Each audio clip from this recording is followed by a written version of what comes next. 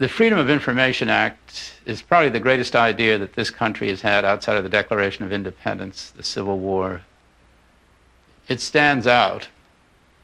But like everything else in the age of the media, it's a public relations gimmick. There's no freedom and there's no information. There's a Freedom of Information Act. You get things that don't matter.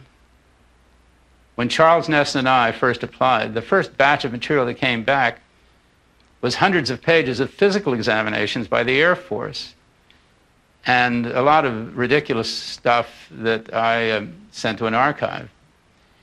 The FBI documents that came, if they came, were crossed out, altered, or simply did not come.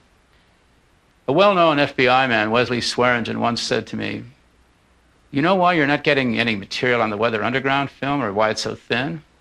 I said, No. He said, Because you're not listed under the name de Antonio. I said, Well, whose name am I listed under? He said, Bernardine Dohrn. Well, that's a brilliant strategy. That's freedom, that's information, except I'm not getting either one. And neither is Bernardine Dohrn, and the FBI is suppressing both freedom and information. That was done after Hoover, but it carries Hoover's imprint